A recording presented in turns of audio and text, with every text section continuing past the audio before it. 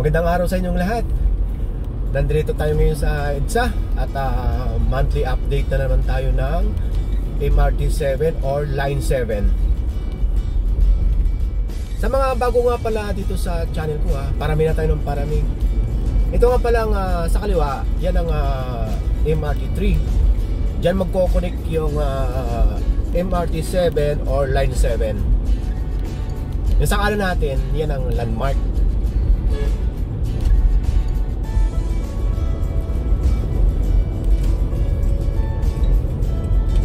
after nitong landmark may makikita tayong uh, building yung ginagawa ron sa una no? Yan ang uh, common station ng uh, line 7 magkoconnect-connect na yan kasi dito eh sa MRT 3 so pero hindi pa yan ang pinaka grand station ha? Hindi pa natin alam kaya yan ang purpose natin. Kaya lagi tayo nag-update uh, every month Yung natutukan na yung natututukan ng camera na yan, yan ang uh, SM North. Saka yung mga buildings na yan. Ano yan? Mga properties yan ng SM or ng SMDC. Yan, kana na tayo dito sa may North Avenue. Kasi nga dito mag o i-start itong line 7 Ito nga palang uh, project ng uh, Line 7 ay meron itong uh, ano ha, 14 station saka 22 kilometers. Yan. Parang ganon. Ito na oh. Ito na siya. Yung last month na update natin dito uh, hindi pa siya masyadong ganito. Sa so, may improvement siya.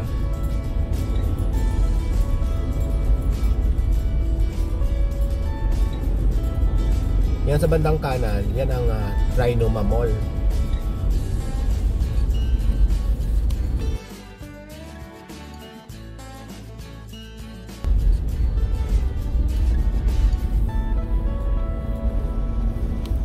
Yan yan, yan ang uh, Trinoma. Ayala Properties yan. Tapos, ayan, yung uh, footbridge na yan, connect na yan dito sa SM North.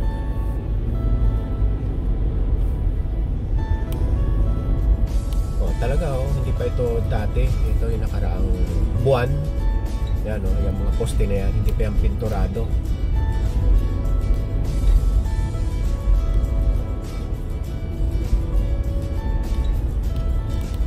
Yung sa gilid naman itong Trinoma ayan. Ayala Properties din yan. Yan ang uh, Vertis North. Na vlog ko na rin yan. Ikutin nyo lang sa channel ko. Ikutin na rin Hanapin nyo lang sa channel ko. Yan. Para makita nyo yung lahat ng video ko sa channel, uh, i-click nyo lang yung picture ko dyan sa baba ng video. Tapos, yan, lalabas na yung uh, buong uh, channel ko. Tapos, click nyo lang yung videos. Ayun, makikita nyo na yung lahat ng video ko doon or yung playlist. Ayun, ando doon lahat yon. Meron doon uh, Metro Manila Update, Manila Tour, yan, lahat yan, nandoon na. So, pag na-click nyo na yun, pwede na kayo mamasyal kung saan ako pupunta. Itong traffic light na ito, pag kumaliwa, papunta yan ng Mindanao Avenue. Tuloy-tuloy na yan ng Harbor Link hanggang uh, nabutas, dire-diretso ng pier. Ayun oh, ganda na oh malinis na. Last month kasi ang dati pa yung mga ang dati pa yung mga scaffolding na nakalagay. Tingnan nga natin kung makakadiretso tayo. Last month kasi sa kayo mga nakaraang update natin dito sa line 7 hindi tayo makadiretso. Kasi nga binibigyan ng uh, daan yung paggawa ng uh, tunnel dyan sa ilalim ng Carino ah ano mga ito Quezon uh, Memorial Circle doon dadaan itong line 7 eh ayan oh, sarado pa nga tuloy-tuloy talaga ang trabaho maski linggo oh.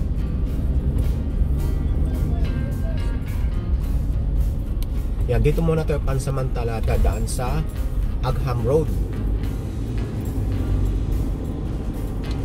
At ang labas natin nito, Quezon na uh, Avenue. Kakaliwa tayo doon para ang labas din natin ulit dyan sa may Quezon Memorial Circle. Yan o, oh, yung mga buildings na yan. Ano yan? Uh, sakop yan ng Vertis North. Mga Ayala properties yan, yung mga condo residential. Uh, doon sa kabila naman, yun naman ang Eton Centris. Pag-aari naman niya ni Mr. Lucio Tan. Dati, halos wala ka rin makikita mga buildings dyan. Ngayon, ayan oh, puno na oh. Yung mga buildings naman yan, yung Eton Centris, karamihan dyan mga BPO offices or mga call centers. Yan sa lugar na yan. Ito na, ito na ang uh, Quezon Avenue kakaliwa tayo rito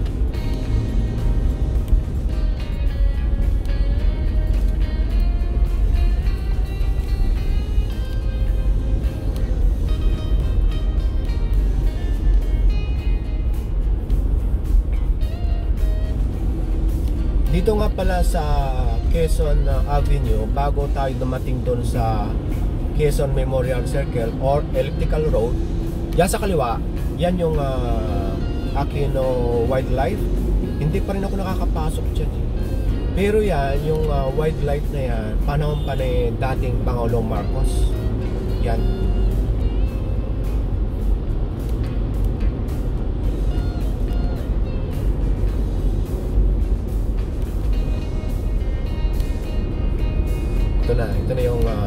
Quezon uh, Memorial Circle. Dyan dadaan silalim yung project nitong Line 7 tapos ang lusot doon sa kabila sa may uh, Commonwealth Avenue na. Dire-diretso na hanggang doon sa may San Jose del Monte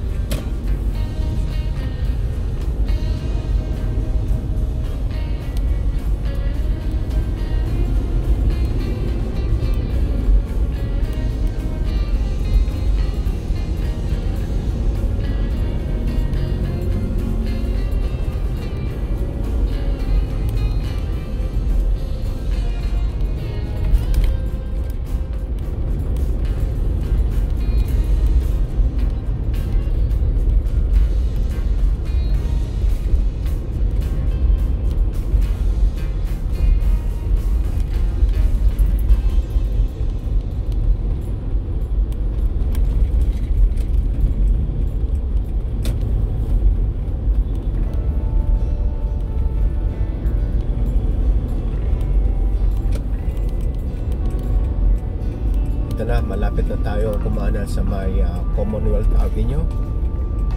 Dito yan uh, umangat or lumusot itong uh, Line 7 uh, project.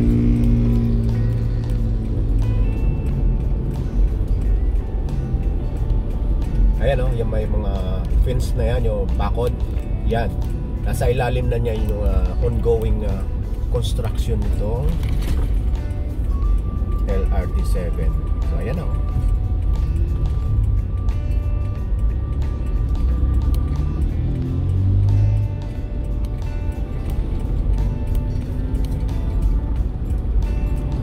Yan, hanggang dito. Hindi ko lang alam kung hanggang saan aangat itong uh, Line 7 project eh, yung trend. Kasi nga galing ng tunnel, di ba? Hindi natin pa alam kung saan lulusot. Kaya buwan-buwan natin itong i-update. Dati kasi, nung mga una nating ah, update dito, ng mga bago pa dito sa channel ko, nagtataka ako. Kasi wala mga posted dito. Ayun. Yung pala ground lang ito. Ibig sabihin naka-level lang din sa kalsada yung trend galing sa tunnel. So kaya wala palang poste.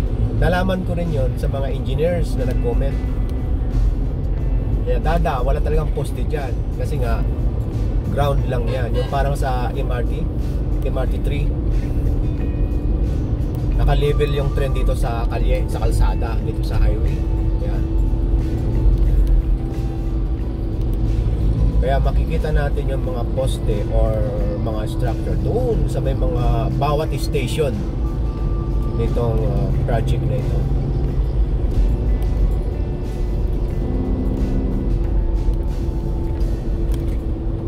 Dito dito nga pala sa Commonwealth pagka nagda-drive kayo, ang takbo lang dito 60 kph ha. Kasi mahuhuli tayo dito or mahuhuli kayo.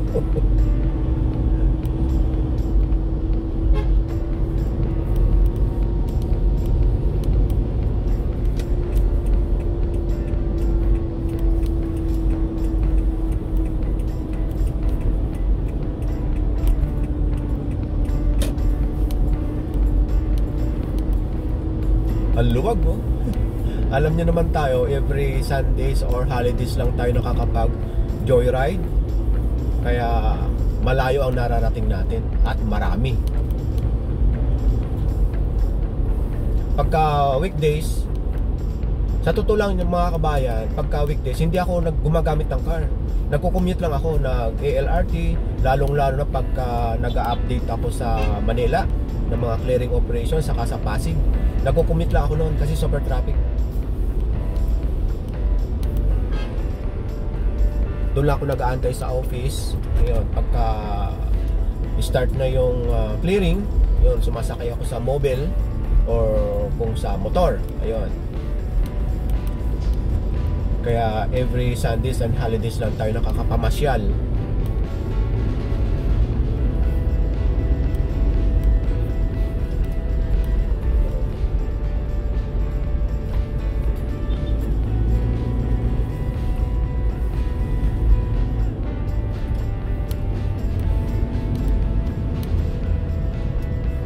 Makulimlim oh, parang uulan. Ma- ma- malamang mamayang hapon uulan ito.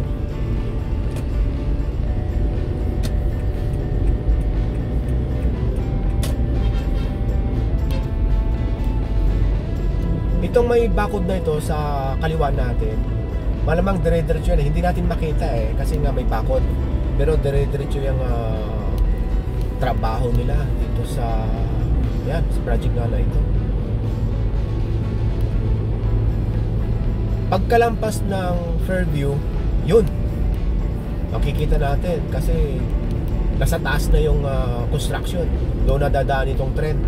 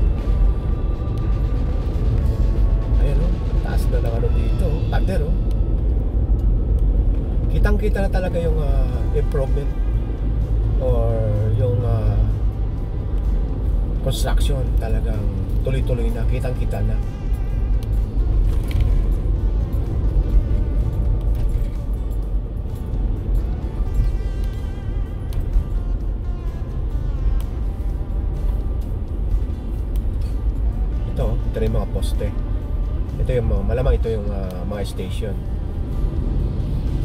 Yung mga ganito nakikita natin yung mga poste.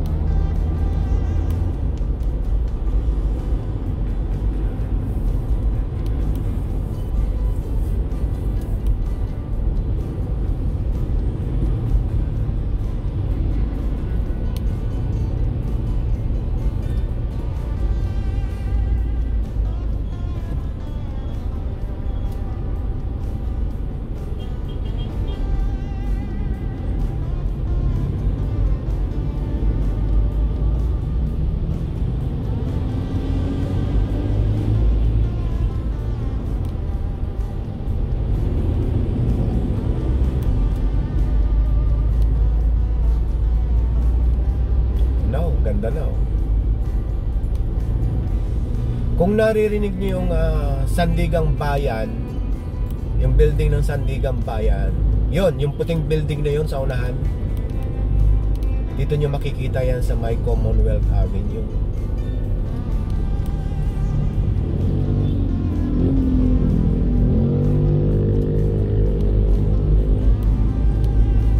Kasi pag kumana dyan, yun na yung ah, Congressional Avenue yata.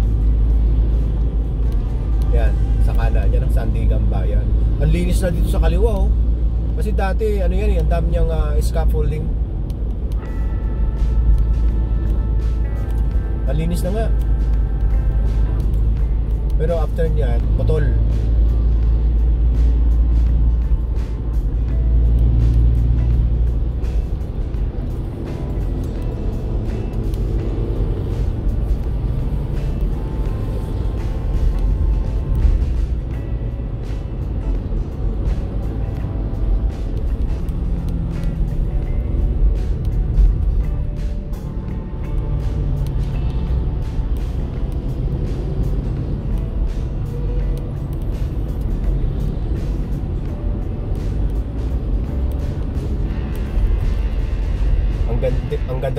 Sa una, no? Pataas, no?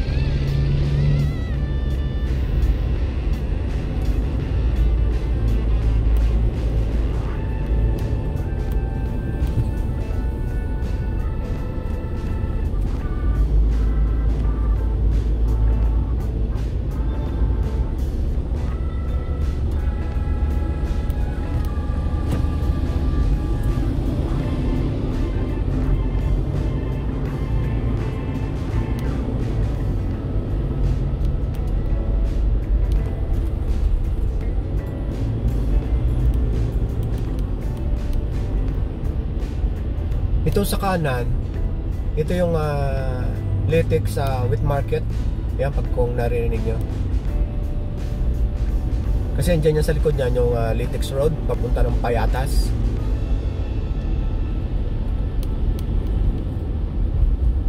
Yan sa kanan, papunta ng Payatas yan.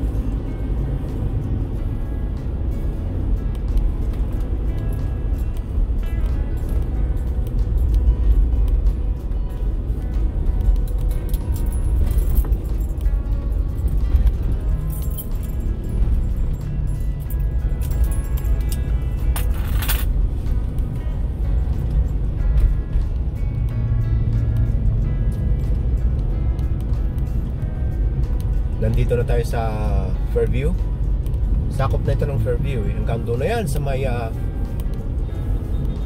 SM uh, Fairview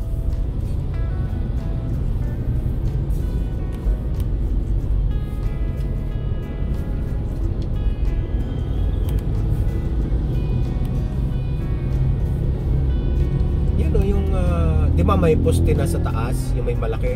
May nakikita akong poste, poste pa rito sa mga pagitan nitong ano eh. Ayan o yung maliliit na poste. Hindi ko alam kung ano yan. May nadaanan ako eh maliliit na poste sa gitna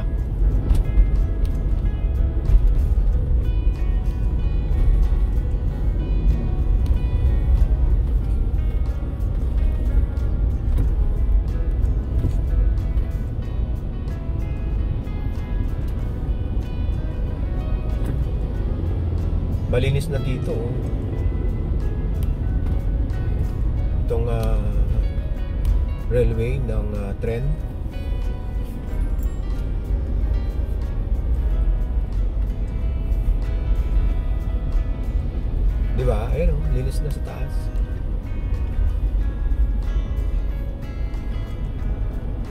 Traffic na rito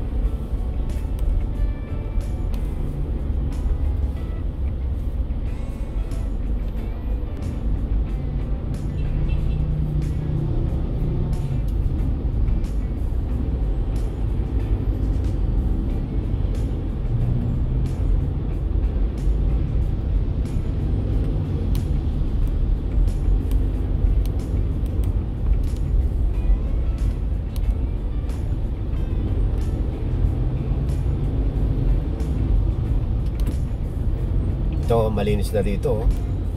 tinanggal na yung mga scaffolding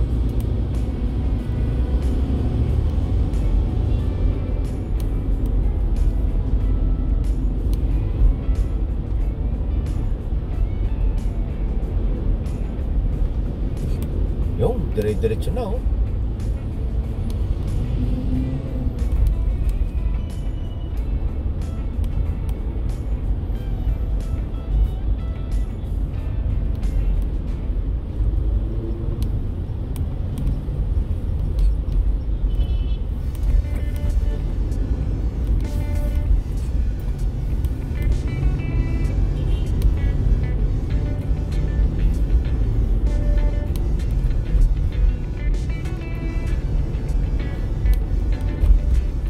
Dire-diretso na oh.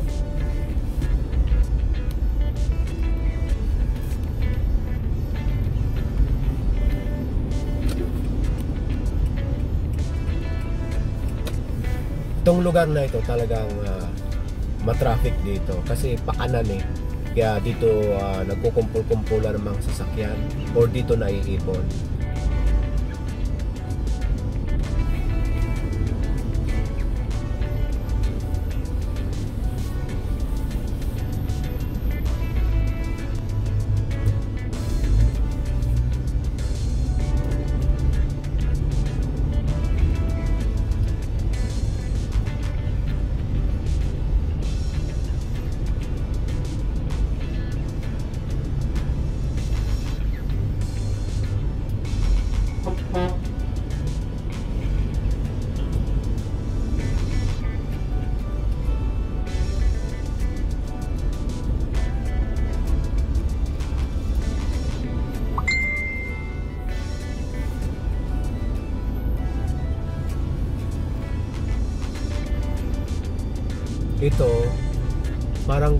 Dati nasa month dito pa rin yung mga scaffolding.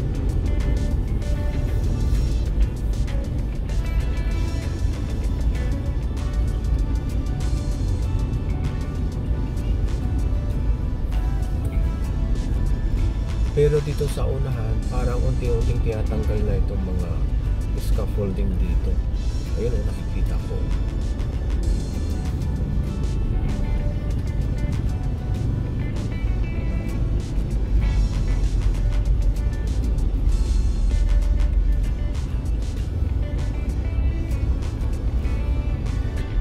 kunting panahon na lang mga kabayan magagamit na ito. Kunting, kunting tiis na lang. Kasi alam niyo mga kabayan nadadaan din ako dito noon. Grabe talaga ito. Kasumpang-sumpang traffic dito. Lalo na pag tuwing umaga pag bago dumating doon sa Quezon uh, Memorial Circle. Tuwing umaga yun ha doon na yun? Mag-iipon na yun doon hanggang sa sa umaga. Ganon din pag uwi sa gabi. Matindi. Lalo na pag, pagka umuulan naku po hindi nagagalaw ang traffic.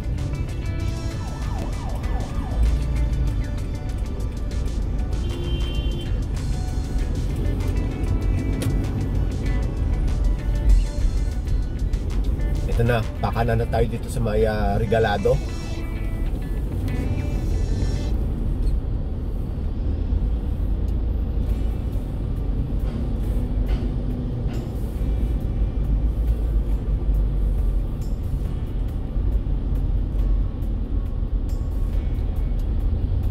pagka diniretso yan labas din niya ng Mindanao Avenue saka Quirino Highway. Pag kanan natin ang lusot din nito Quirino Highway. Ang ano niyan ang uh, ang haba ang haba ng Quirino Highway.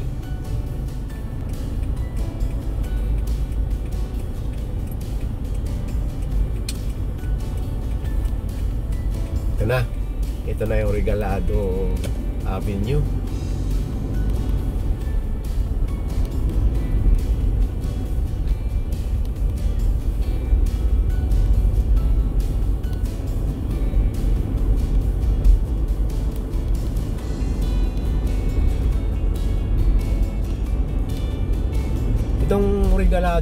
Avenue ano eh dire-diretso eh ang paggawa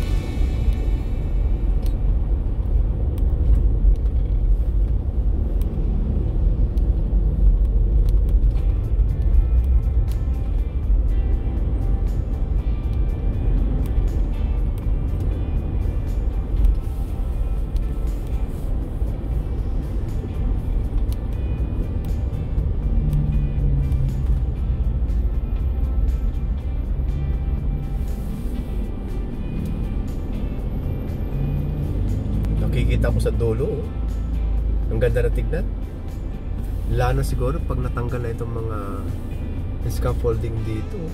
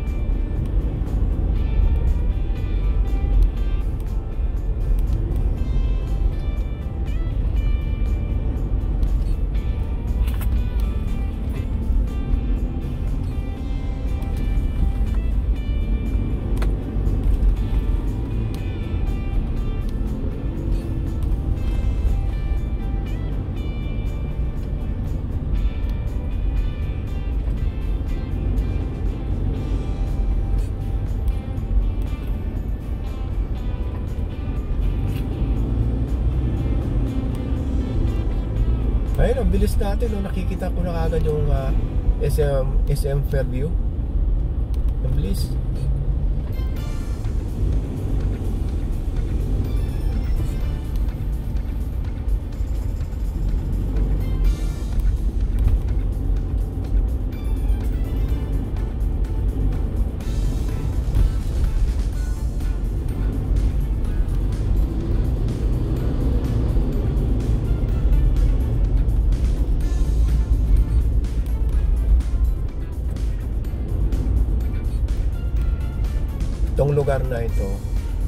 Ano na ito eh, kanto na ng ah, Regalado sa kanang uh, Carino Highway. Kaya medyo matraffic dito. Yung sa kaliwa natin, ito na yung ano ha, SM ah, Fairview.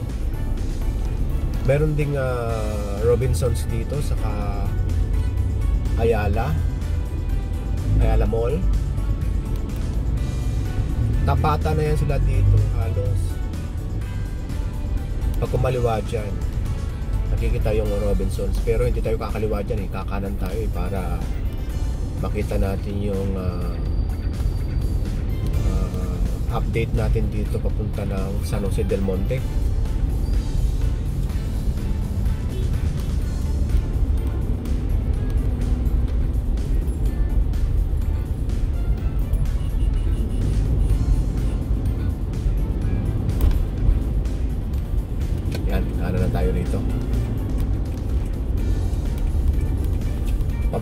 Natin dito, ito na yung Quirino Highway.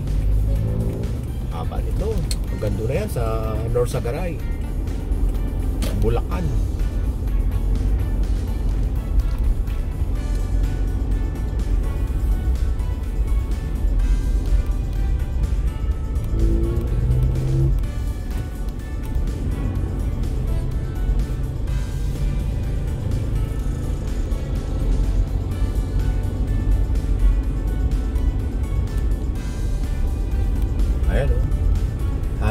Halos tanggal na lahat yung mga scaffolding dito.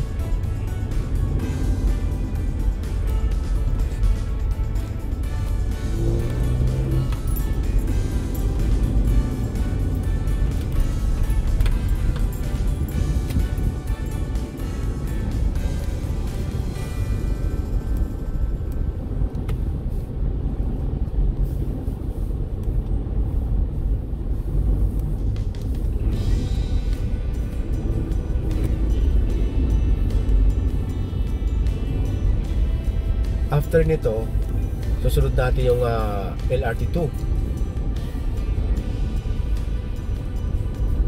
Pero ano na yun ah, ah, ibang ah, video. So after lang nito, kaya naman tayo ah, pagka every Sunday and holidays or every month dito sa pagka ina-update natin itong ah, Skyway Stage 3, Harbor Link, saka itong LRT2 papunta ng Antipolo sa may Masinag. Tuwing linggo lang natin yan na-update. Minsan kaya ko yan. Tatlo. Pagka linggo. Kaya yan ang advantage ng ah, Sunday Joyride saka update. Ayan, marami tayong nagagawa at marami tayong napupuntahan. Minsan nakakaya ko yan eh. Apat yan eh. Ah, Skyway Stage 3. ah, ito, Line 7. LRT2 papunta ng ah, Antipolo saka itong Harbor Link. Apat yan, nagagawa ko yan every Sunday.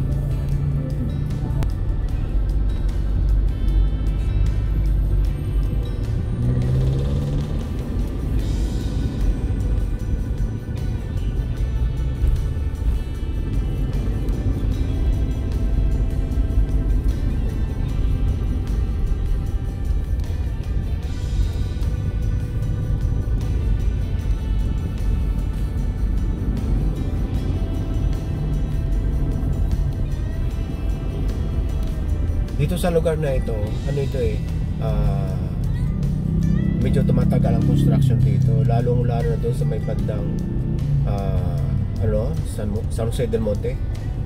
Pero ayos na raw yung ah, right of way doon eh, ayon sa mga nagko-comment dito. Pero hindi natin mapapasok yung lugar na yun kasi dadaan yata sa Pangarap ah, Village.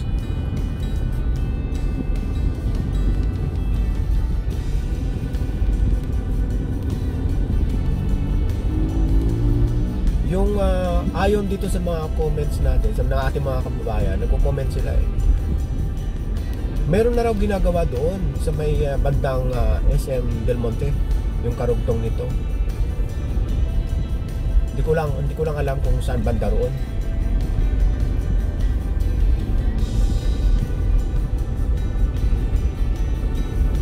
So dito putol siya. Pero ito dugtong-dugtong na yan. Meron doon sa bandang dulo. Hindi ko lang alam kung bakit putol dito.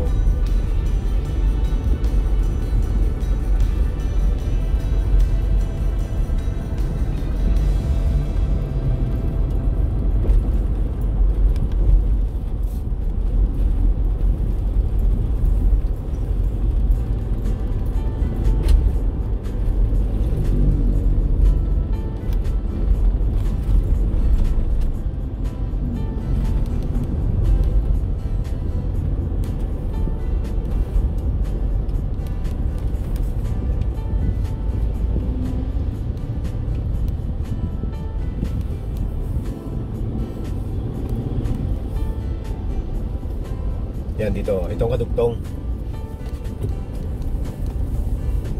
Pero ito na rin siya dati. Yung last update natin. Ito siya. Wala pa yatang nababago rito.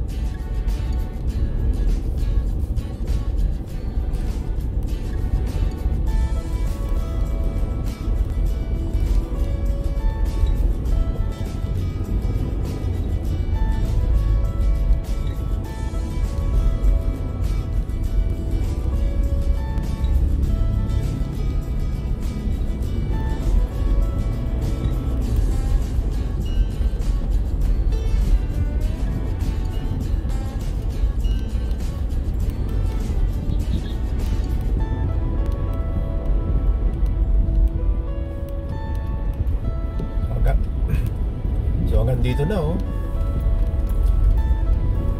Pagkano natin doon sa may ah, regalado hanggang dito, maski putol-putol, pero ayun oh, dire-diretso yung paggawa. Dito yung kakanan sa may pangarap ah, village. Yan, dito. Yan, hanggang dito. Yung di natin masusundan yan. Ang lusot niyan, ano, ah, San Jose del Monte na. Sa may SM. Hindi ko lang alam kung saan banda roon. So, ito, hanggang ah, Malaria.